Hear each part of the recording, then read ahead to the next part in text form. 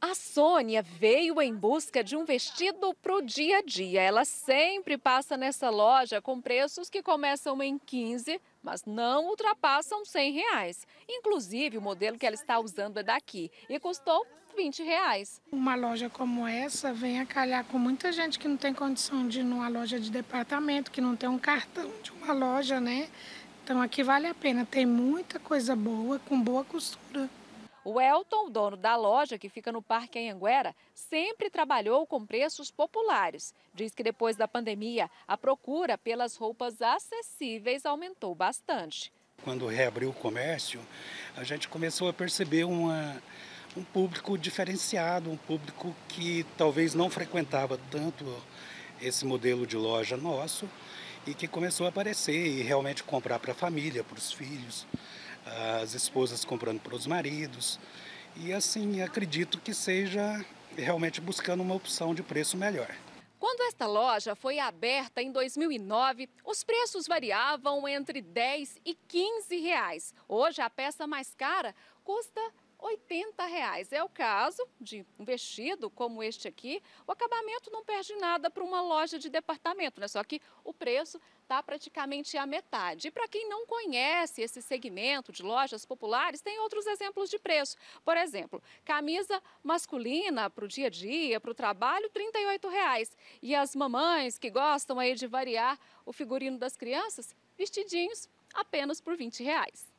Elton explica ainda que é melhor investir na variedade de preços. Hoje, com o aumento do custo dos tecidos e aviamentos, o valor único ficou inviável. Mesclar os preços, cada mercadoria tem seu custo e se o comerciante não aplicar uma margem é, ideal em cima de cada mercadoria, ele não tem como sobreviver. Na loja da Lucineide, tudo custava 20 reais, mas ela teve que variar para oferecer peças de mais qualidade. A partir de 20, 20 reais, né? A pessoa não vai estar tá comprando uma roupa cara.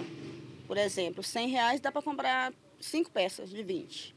Você vai ou no shopping ou numa loja mais cara, você compra. Tem vez que você não compra nem uma peça com 100 reais, né? Essas lojas acabam é, auxiliando e ajudando o consumidor que necessita de um vestuário, mas que não tem tanto, tanto dinheiro para investir numa roupa mais cara, né? A Sandra também já teve loja de preço único. Com a inflação, isso não se sustentou. Precisou se adequar para continuar no segmento popular. Nós começamos com preço, preço único, 12 reais, há uns 12 anos atrás. Aí a gente foi, com o aumento dos preços né, da mercadoria, nós fomos aumentando para 13, 14 Hoje, é, nós abrimos o preço. É algumas peças de 10 até 30, 70, 60 reais, no máximo 70. As peças mais vendidas são de 30 reais, como calças e vestidos. Soliga Light, né, que para o dia a dia é um tecido fresco, mas um tecido mais barato, né?